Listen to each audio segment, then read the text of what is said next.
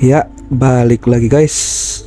Balik lagi ke mana? Oke, kali ini ya temen gua ada yang nanya lagi ya tentang teritori elemen, tapi khususnya yang elemen air ya. Seperti yang kita tahu di sini elemen air tuh bosnya di stage ketiga itu kalau nggak salah Ajisa ya. Lalu untuk counternya kita diminta flower fairy angin ya yang berelemen angin. Oke, jadi berhubung banyak banget yang bilang Aji saya haram damage-nya padahal padahal gimana ya?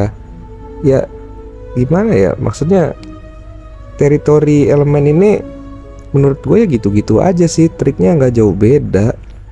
Ini juga bukan trik sih menurut gue bukan apa ya? Ya sedikit tips aja lah dari gue gitu. Oke, jadi di teritori elemen air ini di realm ombak ya kita bisa baca di sini.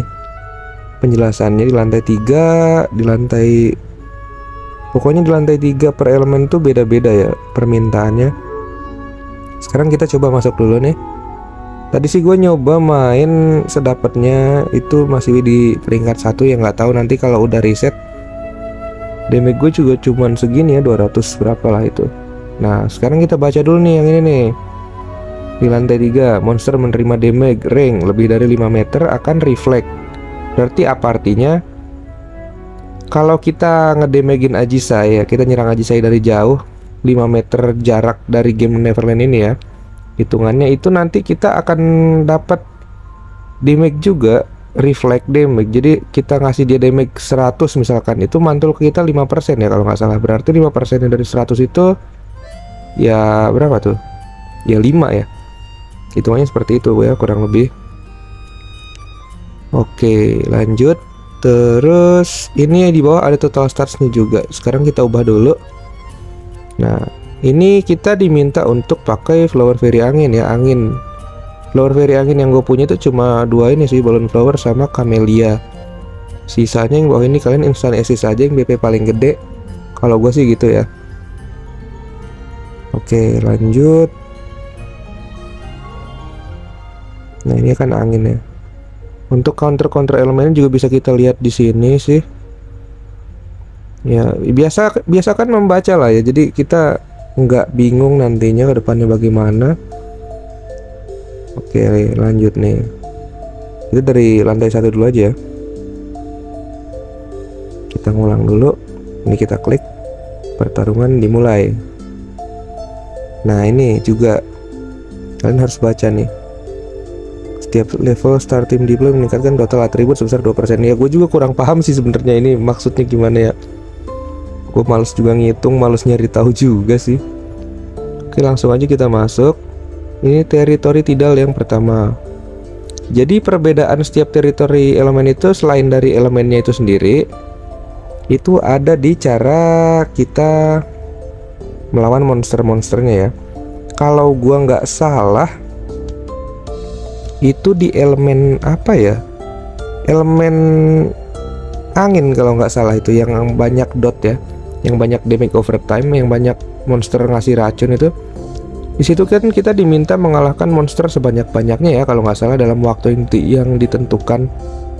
Nah kalau di stake-stake ini tuh yang elemen air ini khususnya dan kalau nggak salah juga elemen lain itu kita diminta ngasih deal damage sebesar-besarnya ke boss ya jadi bosnya itu emang nggak bisa mati kita cuma ngedamage doang. Jangan kaget kalau kok bosnya nggak mati-mati kok nggak ngurang sih?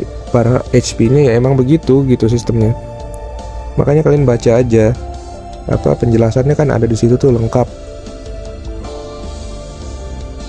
Nah saran gue sih kalian bawa apa ya job senjatanya yang ada skill areanya gini nih. Jadi lumayan ngebantu juga nggak buang-buang waktu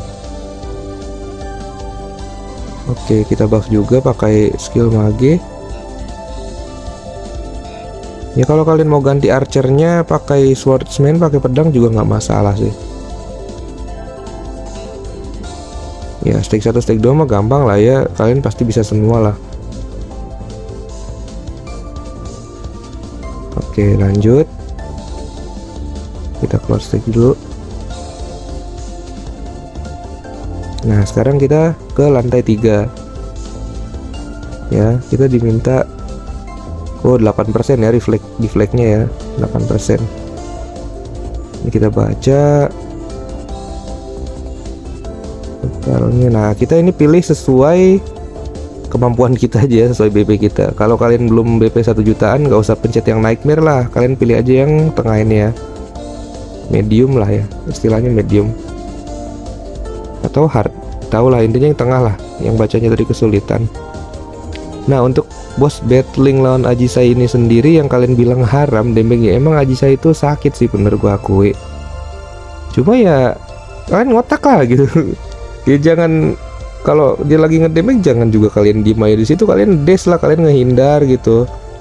Misalkan kayak tadi tuh kan gua kan pakai dash ya. Dan kalian apalin ini ya pattern attack patternnya. Jadi pola serangannya kayak gimana gitu.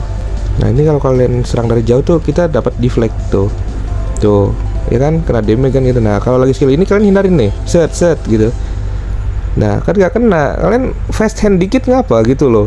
Tangan kalian tuh mainin jangan asal diem aja. Main game kok diem ya gitu. Telan mentah-mentah. Gue juga kadang kena sih damage cuma nggak sampai kena terus-terusan. Jadi kan kalian mati duluan sebelum waktunya habis gitu loh. Paham kan maksud gue ya? Jadi tuh kan kalau kalian ngedes bisa invincible. Lumayan kan jadi kalau tips dan trik dari gue sih sama aja. Intinya kalau di teritori elemen itu kalian bertahan hidup sampai waktunya habis. Ditambah misinya apa? Kalau kalian suruh nge-damage sebesar-besarnya ya kalian damagein. Kalau suruh kill monster sebanyak-banyaknya ya kalian kill monster. Cuma usahain banget. Kalian tuh bertahan hidup sampai waktunya habis. Gitu loh. Maksud gue tuh seperti itu ya untuk yang kalian bilang aja saya damage-nya haram damage-nya pedih sakit ya emang sakit. Makanya dihindarin tuh. Kan bisa dihindarin tuh. Jalan aja masih bisa kan dihindarin. Sambil di heal kenapa sambil nge-heal? Karena kalau nggak salah ya kalau gue nggak salah baca tadi tuh di apa aturan mainnya sisa HP-nya itu sisa HP player kita ya kalau nggak salah sisa HP-nya itu nanti jadi bonus juga bonus rewardnya juga gitu. Jadi semakin besar HP kita yang tersisa saat waktunya ini habis nah itu akan jadi bonus reward untuk kita gitu loh. Ya. Jadi menurut gue itu aja sih. Simple.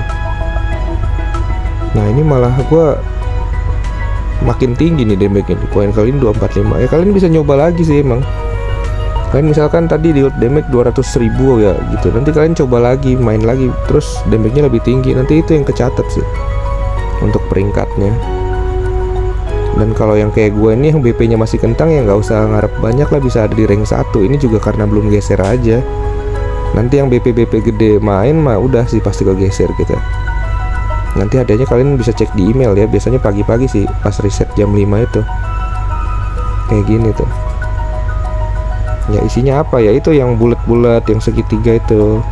Yang sistem INO udah sih gitu aja. Kalau dari gua. Ya jadi kesimpulannya teritori elemen elemen itu ya kalau kalian nggak mau cepet mati kena damage aja saya yang kalian bilang haram ya kalian hindarin. Jangan diem aja gitu loh. Oke? Gampang kan?